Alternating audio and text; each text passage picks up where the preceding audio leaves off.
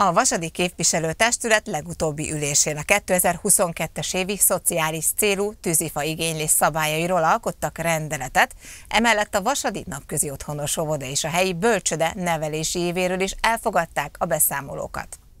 A polgármester azt is elmondta kameránk előtt, hogy a család és gyermekjóléti szolgálat feladat ellátásáról, valamint a kiadás és rezsicsökkentő intézkedési tervről is tárgyaltak a képviselők több nagyon fontos napirendi pontot tárgyaltunk.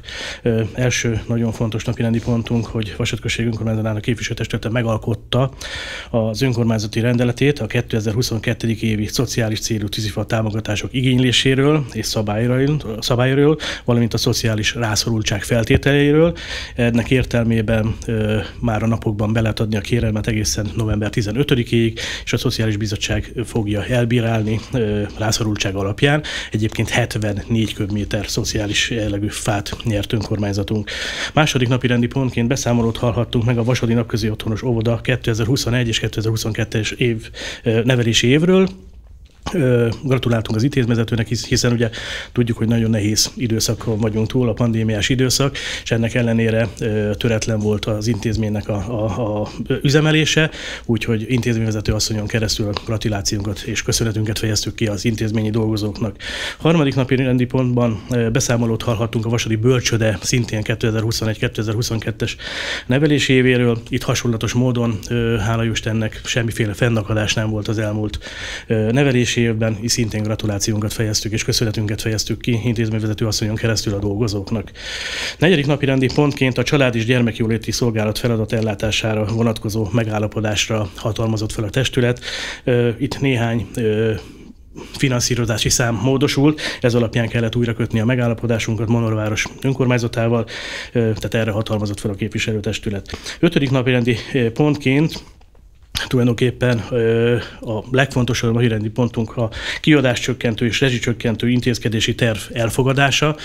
Tehát erre került sor, melyben a képviselőtestület képet kaphatott, hogy az elmúlt évben, vagy az elmúlt évtizedben tett intézkedéseink tulajdonképpen most fognak révbe érni, hiszen az összes intézménynél is beleértve a polgármesteri hivatalt, a villamos áramot, mink fotovoltaikus napelemrendszerrel állítjuk elő.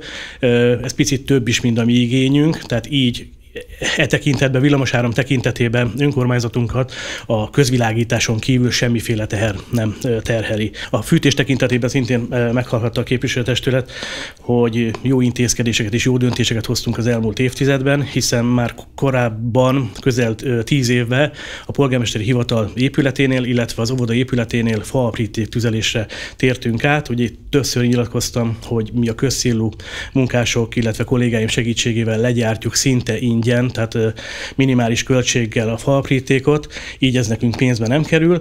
És hasonló módon a bölcsödénél ott két faargázosító kazánunk van, ott fával tüzelünk, tehát szintén a, a mi területünkből kerül ki a, a tüzelőfa, így képviselőtestületnek egy kimutatást készítettünk kollégáimmal, hogyha nekünk a mostani rezsi árakkal kellene számolni, akkor ennél az említett intézményeknél nekünk több mint 24 millió forintba kerülne a villamosáram, illetve a fűtésköltség, és ebben szemben hála Isten szinte a nullához tendál.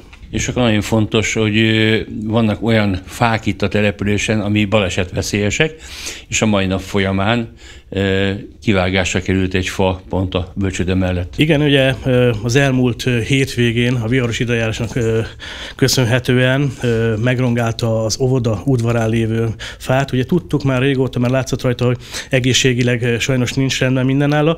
Egy hatalmas gaj szakadt le róla, hála Istennek ez hétvégére esett, és nem érintette a működést, nem voltak gyermekek az udvaron. A testület döntött, illetve megvizsgáltattuk több szakemberrel, és a szakemberek véleménye alapján kivágásra kerül a mai napon ez a veszélyes fa. Alpin technikával, illetve kosaras emelő, kosaras szakemberek segítségével vágjuk ki a mai napon.